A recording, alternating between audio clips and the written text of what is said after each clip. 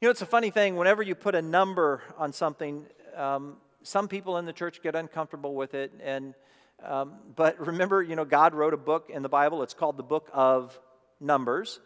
And then in the book of Acts, when God is recording the history of the early church, we read 3,000 are saved one day, 4,000 another day, 5,000 another day, which means somebody was counting. I had somebody tell me recently, they said, oh, our pastor said at our church, we don't really, we don't care about attendance. We don't, we don't think about that much. We, we just, if it happens, it happens. Really? That's crazy. The Great Commission tells us to reach people. The Bible's clear about reaching people.